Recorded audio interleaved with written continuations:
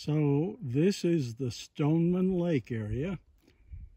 It's uh, where we went for a hike. There's a little dry pond in the bottom that will probably have water in the spring. And it's a road, it's a little slopey coming downhill. So it's not easy, but it's, it really is pretty and it keeps going. I don't know how far. And where is it? Well, Stoneman Lake, Arizona is uh, oh, about a halfway from our place to Flagstaff, so not bad at all.